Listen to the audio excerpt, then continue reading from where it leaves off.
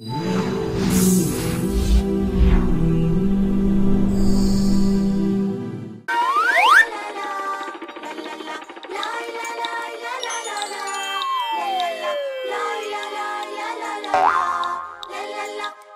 la la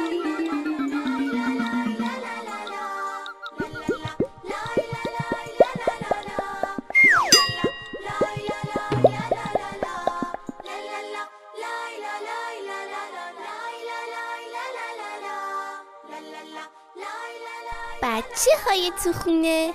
با ما باشید با آیا می‌دانید به نام خداوند بزرگ و مهربون. سلام بچه ها فیل جانوری است با جسته بزرگ و قوی که از سالهای بسیار دور در کره زمین قرار داشته. این فیل ها به سه نوع تقسیم میشن. یعنی فیل آسیایی، فیل بیشه های آفریقایی و فیل جنگلی آفریقایی. فیل آسیا کوچکترین فیل میان فیل هاست که گوش و خرطومش کوچکتره. دو فیل آفریقایی گوش ها و جثه بزرگتری دارند که فیل جنگلی آفریقایی در میان این دو فیل بزرگترین گوش ها رو دارند. فیل ها گروهی زندگی می کنند که با مردن یا اگر به دام انسان ها بیفتن از گروه جدا میشن. این گروه ها در زمان حرکت کردن از راه صدایی که از پاهاشون بیرون میارن با همدیگه صحبت می‌کنن.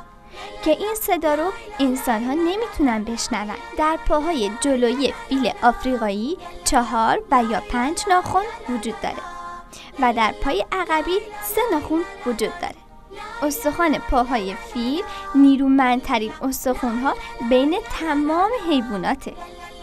فیل ها مثل انسان ها اول دندان یا آجهای شیری دارن که پس از مدتی میفتن و آجهای اصلی بیرون میاد. فیل ها در طول زندگی خودشون 6 یا 7 بار دندوناشون رو عوض می‌کنن. به